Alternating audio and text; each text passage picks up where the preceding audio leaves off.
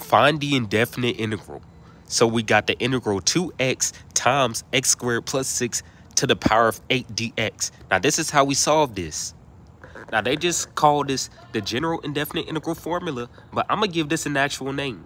We gotta use the indefinite integral superpower rule. Ah shit, my paper. In the indefinite integral superpower rule, the term raised to the nth power is multiplied by its derivative. Now step 2 is to identify f of x.